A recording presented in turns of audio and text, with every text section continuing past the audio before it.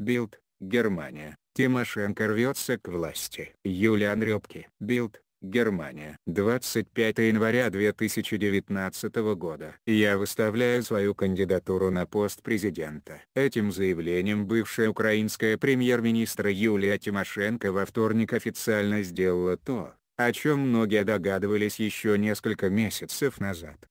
58-летняя Тимошенко будет баллотироваться на выборах 31 марта и хочет, по ее собственному выражению, привести измученную войной страну в эру успеха, счастья и процветания. Однако сможет ли она за два с небольшим месяца выиграть выборы в шестой по численности населения стране Европы? В настоящее время она лидирует во всех опросах с показателями от 18% до 22%. Отставание президента Петра Порошенко, по разным опросам, от 3 до 10%. Таким образом, она в любом случае должна попасть во второй тур выборов. Однако далее может возникнуть щекотливая ситуация. Следует учесть ее высокую антирейтинговую оценку, то есть тех людей, которые ни в коем случае не будут ее поддерживать, пояснила известная активистка Майдана и журналистка Катерина Круг. Катерина Круг, газете «Бильд». По ее словам,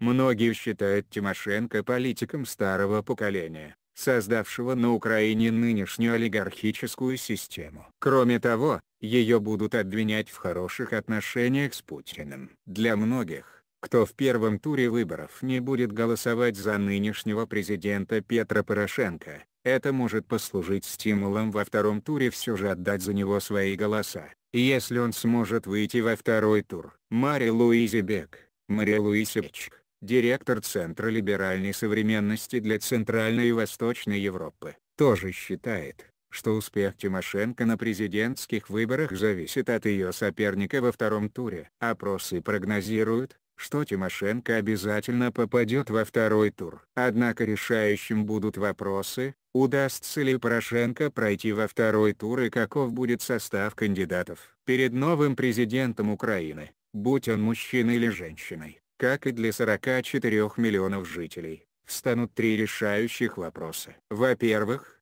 война и отношения с Россией, во-вторых, отношения с Западом и с Европейским Союзом и в-третьих, борьба с царящей в стране коррупцией. По ее словам, президент Порошенко уже подчеркнул, что не будет вступать ни в какие переговоры или сделки с путинской Россией. Тимошенко в этом плане высказалась не столь однозначно. Однако ввиду того, что Украина находится в состоянии войны с Россией, требуется военная и дипломатическая выдержка, считает политический эксперт Круг. То есть те качества, которые Тимошенко свойственны лишь отчасти. Что касается темы западной интеграции, то здесь бывшему госсекретарю Мари Луизе Бек роль Юлии Тимошенко видится раздвоенной. Кандидатка объявила западную интеграцию и вступление в НАТО и ЕС самыми важными целями. Но сама она связана с олигархическими играми, поэтому ее позиции не хватает прозрачности. И сегодня трудно оценить, куда она как президент может направить страну